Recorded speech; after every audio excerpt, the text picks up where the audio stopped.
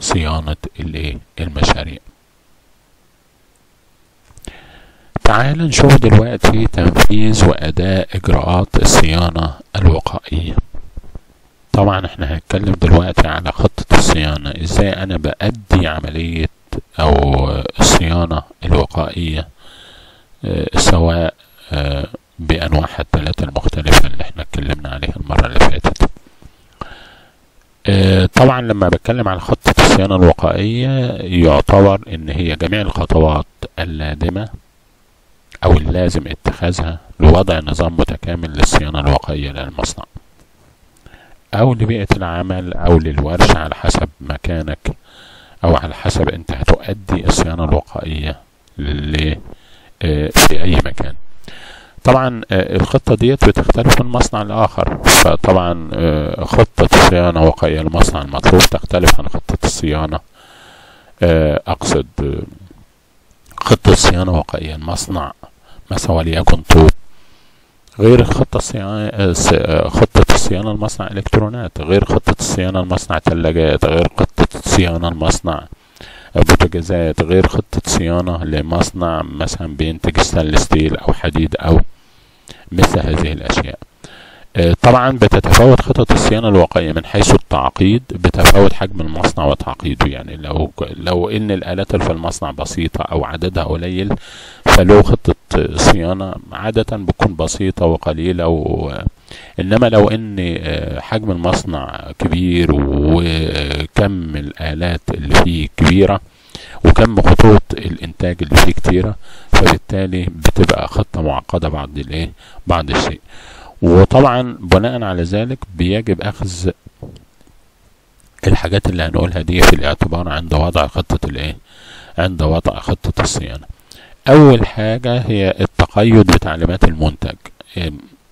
أي مكان عندي أي آلة أي تجهيزات لازم أشوف أخونا المنتج المنتج لهذه الآلة أو المعدة أو أو اللي إحنا بنقول عليها التجهيزات.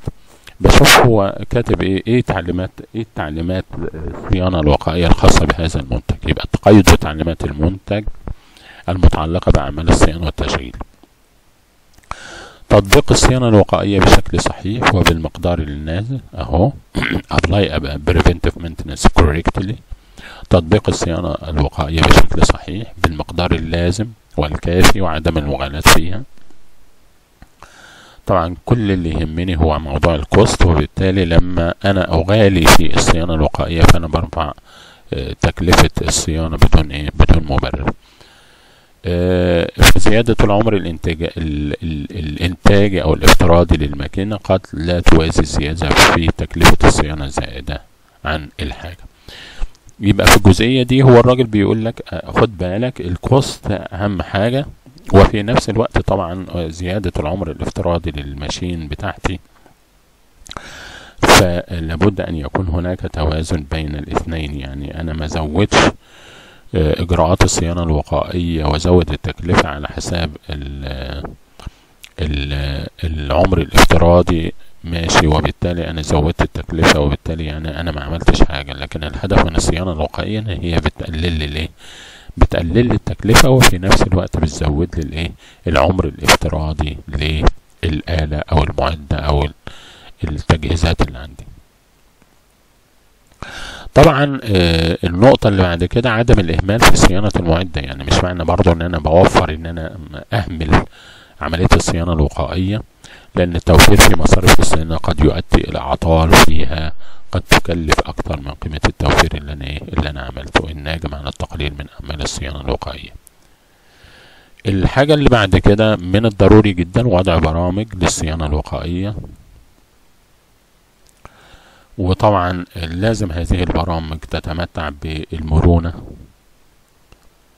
بحيث أن يتغير هذا البرنامج.